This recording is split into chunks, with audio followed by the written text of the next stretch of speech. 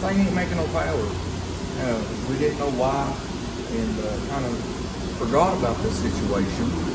Uh, it's got a nitrous cam in it still. Uh, even though I've rebuilt the last couple motors, you know, using the same cam, I just never really thought about the overlap and the issues it will create. I mean, the motor makes some really, really good power on motor, but as soon as it sees boost, you know, we start having issues. Uh, the more boost we put into it, it does not make any more power. Uh, we have hit a wall at just a little over 500 horse, and doesn't matter how much we put through it, it doesn't make a difference. Uh, so order a new cam, and you know, while I still have the truck down here at my work, I'll be able to work on it between other cars. Uh, so I should be able to this tore down today, have it set and waiting for when the cam shows up. Hopefully Wednesday. Uh, it's Monday right now. Uh, if it doesn't show up Wednesday, uh, eventually, Sunday this week, we'll get this thing back together. Uh, then, if all if all works out, Friday or Saturday this week, I'll have it on the dyno. So you all may get two videos this week.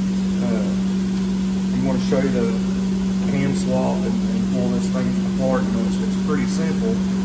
I'll uh, I'll put you on a time lapse while I do that. Uh, you know, I've got this front end built that it's not hard to work on. There's a couple of screws here, front end comes off, a couple of bolts. I mean, it's pretty simple. Uh, I will put you on time lapse for that because I know y'all don't want to drag this out too long. Uh, we'll we'll show you the rockers I use. We'll show you some of the stuff I have in this motor.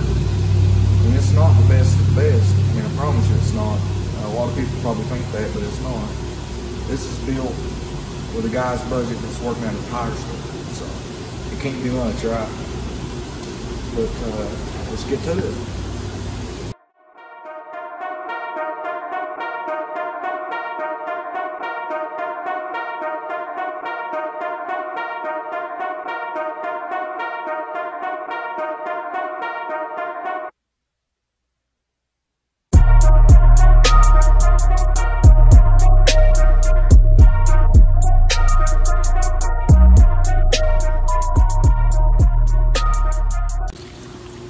Of you guys probably noticed the uh, the bumper.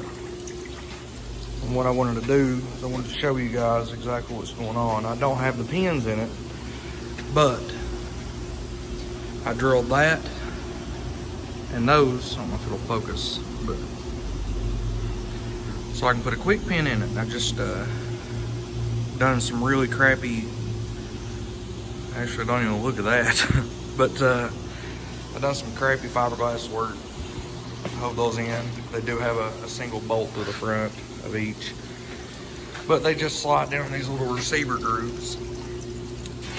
And uh, I do have a pin for those when I am racing. The intercooler just sets on these little dowels. And uh, just only has two bolts up top. You know, the front of this truck doesn't weigh much. You know, the core support anyways. So what I need to do, time I'm waiting on the, the coolant to drain, I want to mark my my wiring here so it's easy to put back together. I'm gonna get all these rockers off of it. We'll start turning this front end apart. But these are straight off of eBay. I mean, they're nothing special, 3 eighths. You know, it does say 350 for, for small block Chevy. Let's see if I can get the, yep, 1.6 ratio. These are the, I guess, the better of the eBay ones. They do have a enlarged oil hole and they will sling oil everywhere. That is when they're pumped up, when the lifters are pumped up.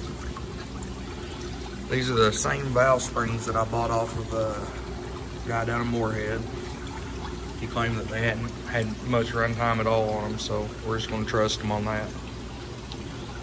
And uh, a lot of people are going to get a, a, major kick out of this. This is the reason I actually went and barked or went got the marker. Huh. What the hell? What is that? Let's see if we can get a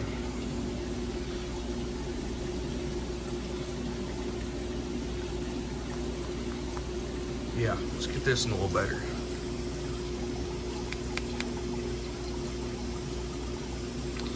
So I'll mark out that name number too.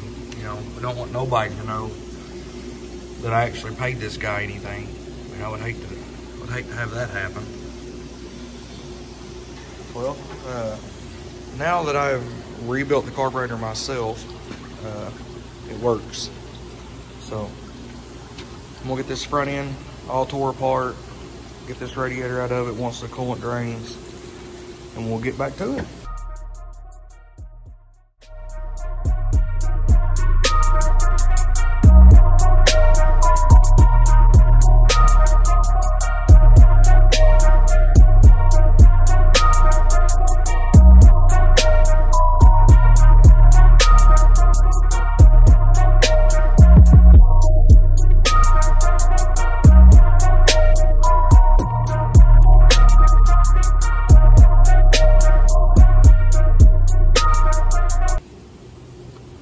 Ignore my mess. Just doing it the easiest, fastest way I can. So what we've got going on here is I've got a, uh, let me get this in here. I do have an adjustable gear here, but I'll leave everything zeroed out. That's just close as I can get it right now, but we'll get this cam out of here in a minute and we'll show you what it looks like. I'll show you the cam number on it if it still has it on it or whatever, I'm not for sure. But uh, I still use the, the factory Vortec dog bones. And uh, these are actually, if I can get one out here, I just feel pull with my hand. These are bone stock LS lifters. Hydraulic roller, like out of your LS1, 534860, 60, uh, and the Vortec blocks. You can use these, and I mean, if they're good enough for a couple of my buddies to make 12, 13, 1400 horse, you know, there's good enough for me. So I'll get all these sitting out. I'll lay them in here, then we'll pull this cam and I'll show you what it looks like when it comes out. So something I almost forgot to show people out there. Uh, Vortec blocks, you know, they, if you're not used to them, they have uh, some bolt holes here and they have a retainer plate that actually sets in between the gear and it'll actually hold the cam in place so there's no button to deal with, nothing like that. So we pull this thing out and then we'll let you look at the numbers on it.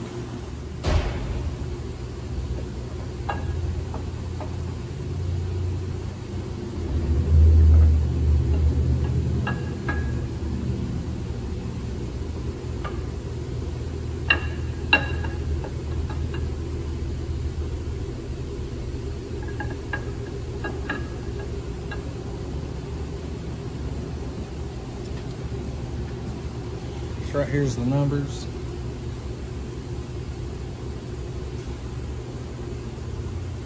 Oh eight three oh three dash eight comp cam. This is a this is a nitrous cam. This thing's actually done me well, but for this turbo stuff, we're going to try something a little different. We're going to go to a NA cam. We're going to see how that life works for us. There's a couple little marks, nothing, nothing to worry about, nothing to cry home about. So as promised, Cam showed up on Wednesday, a day off. I'm down here today. We'll throw this thing in. Here's the specs. It's a uh, Comp 280HR uh, NA cam. It's a baby NA cam. So we'll loop this thing up. We're gonna throw it in there and throw you on time lapse.